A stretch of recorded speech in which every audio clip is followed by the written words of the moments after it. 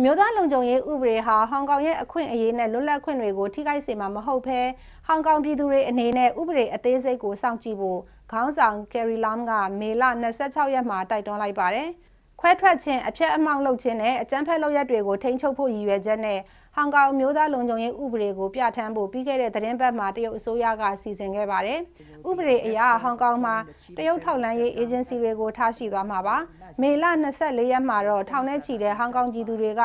တရုတ်အစိုးရအဆိုပြုတဲ့လုံခြုံရေးဥပဒေကိုကန့်ကွက်ဆန္ဒပြခဲ့ကြပါတယ်။ဆန္ဒပြပွဲမှာရဲတပ်ဖွဲ့ကမျက်ရည်ယိုဓာတ်ငွေနဲ့ရေအမြောက်တွေတုံးပြီးလူစုခွဲခဲ့သလိုလူ200နီးပါးကိုလည်းဖမ်းဆီးခဲ့ပါတယ်။မေလ28ရက်မှာလည်းဆန္ဒပြပွဲတွေထပ်ပြီးပေါ်ပေါက်လာမယ်လို့မျှော်လင့်ရကြောင်း Reuters သတင်းမှာဖော်ပြထားပါတယ်ရှင်။